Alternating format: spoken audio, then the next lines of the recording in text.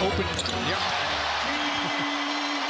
Got to shoot practice here. Got a barrage. He, he really had a great season in terms of shooting. You know he's going to bring that toughness defensively, so that's a huge boost as White comes. Moved it and gets it to Kyrie to attack. They're leaving him open. He doesn't take the bait. Holiday, a little bit of room, throws up a three. Attack early, but we can create good opportunities, and that's what they've done on these last two possessions. Boy, Jrue Holiday, if he starts jacking and hitting. He's going to get a good look.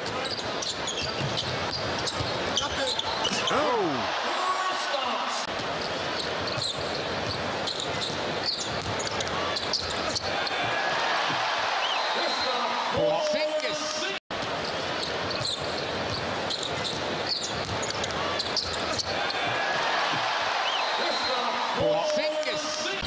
He's really going to love this opportunity to get out there and score it. White clears himself some space and knocks down two.